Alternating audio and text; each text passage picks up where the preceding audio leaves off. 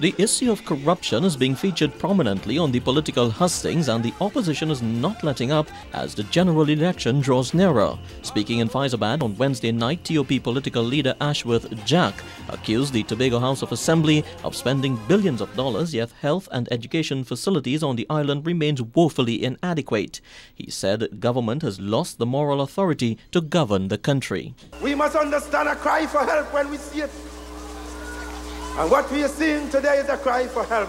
A cry for help by Patrick and his people, saying, Take it from me, please. It's too much for us to run.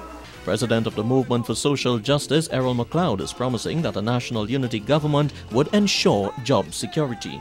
I will ensure that we regularize the terms and conditions of employment of the people in CPEP. We will regularize the conditions of the OJTs. For CNC3, I'm Roshan Sakram.